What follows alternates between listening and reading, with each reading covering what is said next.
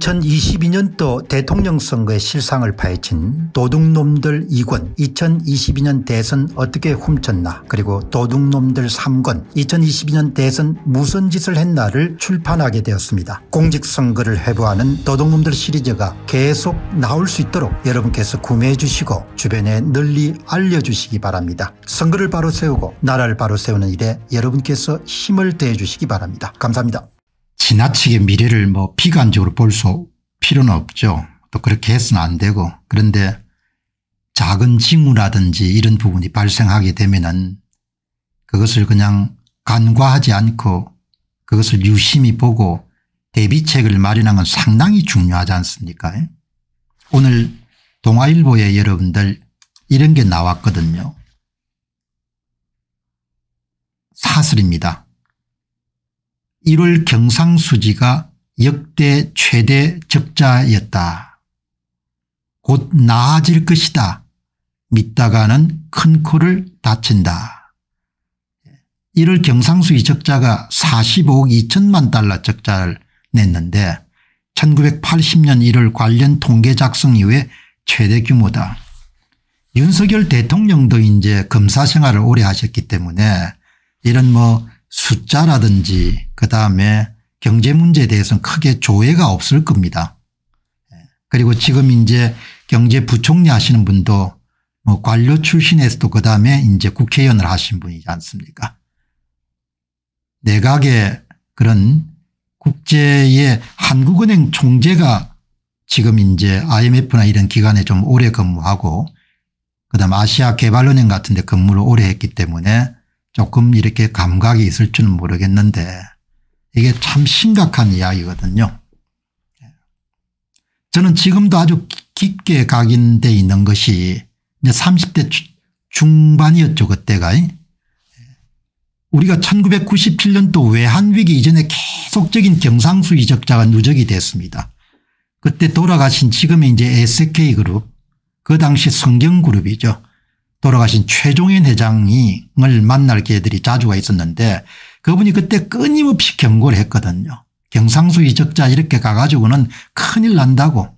예, 그래서 김영삼 대통령도 별로 기분이 안 좋았죠. 계속 큰일 난다고 이야기하니까. 예. 그 사업가들은 아는 거죠 본능적으로. 무역을 해서 먹고 사는 나라에서 무역 수지가 계속 적자가 발생하게 되면 은 이거는 보통 문제가 아니다. 그러나 뭐 그 당시 김영삼 대통령은 경제에 대해서 굉장히 문외한이셨고 그 주변에 있는 강경식 씨나 뭐 이런 분들도 다 관료 출신들이었지 않습니까 그렇게 감각이 별로 없었던 거죠. 예.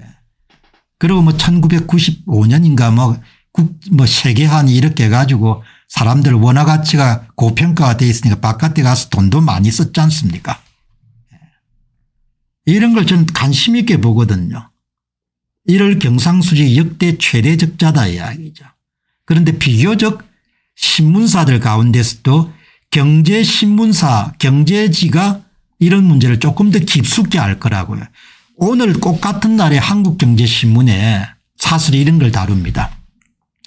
경상수지 적자가 사상 최대인데 경제와 기업의 체질을 바꾸라는 신호다. 이렇게 이제 사설 제목을 단 겁니다.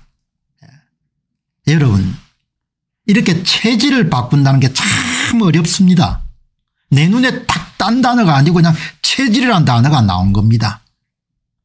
한국경제신문의 논설위원들이 뭐라고 이야기하는 거 아니까 불가능한 요구를 하고 있구나. 그런데 그 논설위원들이 현실 인식이라는 것은 체질을 바꾸지 않고서는 해결이 되기가 쉽지 않은 문제라고 본인들이 진단하고 있구나 이렇게 된 겁니다. 예. 여러분들 이 문제가 간단하게 한번 보시죠.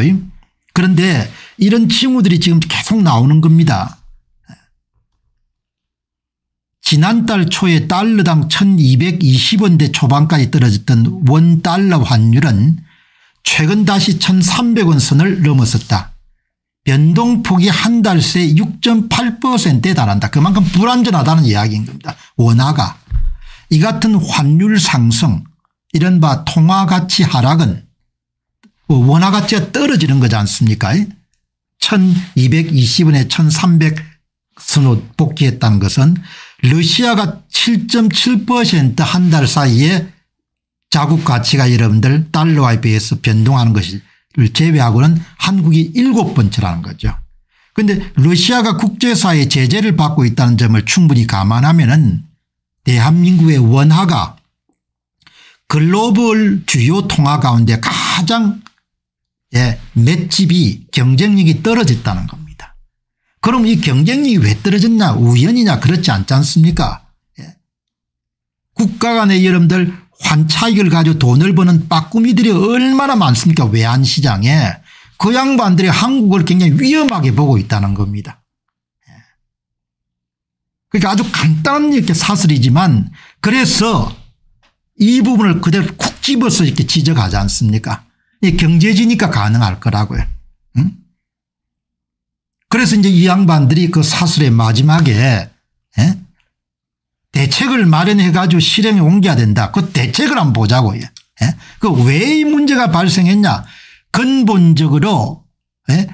무역 적자는 국제 에너지 가격 상승들도 큰 요인이지만 근본적으로는 지난 문재인 정부의 친노조 반기업 정책이 부른 투자 절벽의 결과라고 볼 수 있다. 사업을 국내에서 할 수 없는 국내 투자를 할 수 없도록 최저임금제도부터 시작해 가지고 벨벨 중대 무슨 뭐 예, 재해 무슨 법부터 시작해서 모든 악법들을 다 통과시킨 거죠.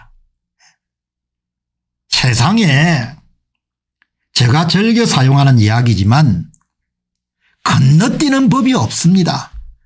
저는 평생을 뭡니까 지금도 세상에 건너뛰는 법이 없다. 낭비하면 비용 치르고 건강을 함부로 몸을 돌리게 되면 반드시 비용을 치르는 거지 술을 많이 먹고 다음에 건강할 거다. 생각할 수 없는 거지 않습니까 건너뛰는 법이 없는 겁니다. 예? 그렇게 그냥 기업 환경을 난장판으로 만든 겁니다. 예? 여러분 그 다음 이야기는 저는 처음 봤습니다. 우리나라의 설비 투자가 이렇게 떨어진 것은 내 머릿속에 지금 남아있는 것은 대한민국은 항상 설비 투자가 두 단위로 증가했던 나라입니다. 5년간 문재인 정부 5년간 기업 설비 투자 증가율이 연평균 1.1%로 역대 정권 최악이었다. 투자를 안 하니까 지금 그 결과 고스란히 나오는 겁니다. 투자 부진이 산업 고도화를 늦추고 기술 경쟁력을 떨어뜨려 무역구조를 악화시킨 것이다. 이것이 언론인 가운데 비교적 경제 문제를 다루면서 밥 먹고 사는 사람들인 진단인 겁니다.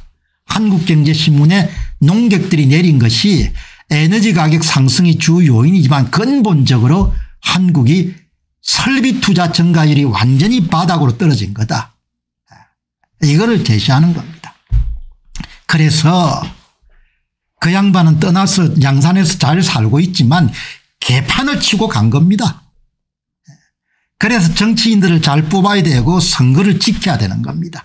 그거를 못 지키면 은 이런 거 100배 1000배 정도의 가혹한 어려움을 당하는 겁니다. 저도 놀랬습니다. 노란색 칠해놓은 거.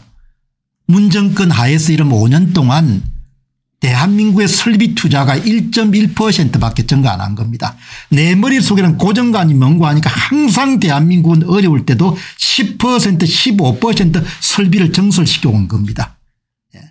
작금의 예. 무역구조를 추세적으로 반전시키기 위해서는 과감한 투자 활성화를 통해 수출과 환율 문제를 동시에 해결한 접근이 필요하고 그 다음에 나오는 것들이 어마어마한 노력을 하지 않으면 대한민국에서 불가능한 것을 주문해 놓은 겁니다. 규제 핵파, 노동개혁, 연금개혁, 교육개혁 등 구조개혁에 국가가 매진해야 된다. 이거 할 수 있겠습니까 이게 가능하겠습니까 저는 사람이 하는 이니까 불가능하다 이런 말씀은 드리고 싶지 않지만 현재 상황으로 보면 은 가능성이 높아 보이지 않죠. 절박하지 않으면 절대 안 되는 겁니다. 평생 봉급을 받아 먹고 산 사람들은 절박하지가 쉽지가 않습니다. 예. 돈 버는 일이 얼마나 힘든지도 모르고 부도가 나면 사람들이 얼마나 처절하게 되는지도 모르고 그냥 25일 되면 따박따박 돈이 나오니까 그런 생활을 10년 20년 하게 되면 은 자기도 모르는 사이 완전히 몸에 뭡니까 그런 체질이 붙는 겁니다. 대한민국이 이렇게 가면 어려워집니다. 어마어마하게 어려워질 겁니다. 노동개혁이 가능하겠습니까? 연금개혁이 가능하겠습니까? 교육개혁이 가능하겠습니까? 국가 예산의 빨대를 꽂고 뭐죠? 퍼먹는데 이런들 바쁜 사람들이 수없이 우글우글 창걸하는 나라인데 그거를 잘라낼 수 있는 그런 리더십이 있고 그런 정치 세력이 있습니까? 그게 힘듭니다.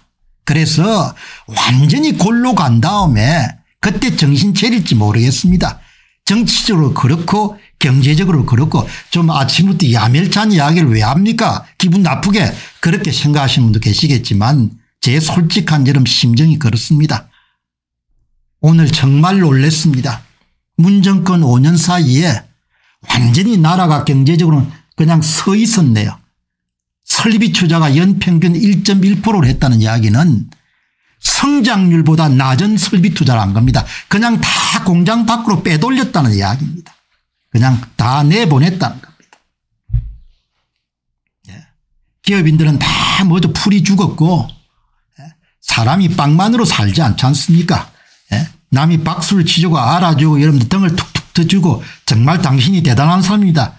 이렇게 해야 지금 나라 일을 하는 사람들 가운데 사업 경험을 가진 사람이 거의 없지 않습니까 내각의 이런 기업들 제대로 경험한 사람들 한 사람이라 있습니까 그러니 다 봉급쟁이들인 겁니다.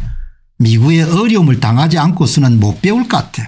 어떻게 나라가 이렇게 돼버렸는지 어, 정말 참 제가 논평을 하면서 참 안타깝습니다. 사람들은 건하고 사람들은 부지런하고 눈썰미도 있고 한데 어떻게 나라가 이렇게 여러분들 어렵게 되, 돼버렸는지 이해를 할 수가 없네요. 오늘 이 한국경제신문에 이 사설은 짧지만 상당히 중요한 메시지를 우리 함께 담고 있네요. 예. 이게 보통 문제가 아닙니다. 예. 대한민국 공직선거의 문제점을 파헤친 첫 번째 책을 펴냈습니다. 제목은 도둑놈들 1권 선거 어떻게 훔쳤나 2017년 대통령 선거로부터 2022년 대선과 지방선거까지 전산 조작을 이용해서 후보별 득표수를 어떻게 조작했는가를 낱낱이 분석한 책입니다. 선거를 바로 세우고 나라를 바로 세우는 일에 여러분께서 힘을 더해 주시기 바랍니다.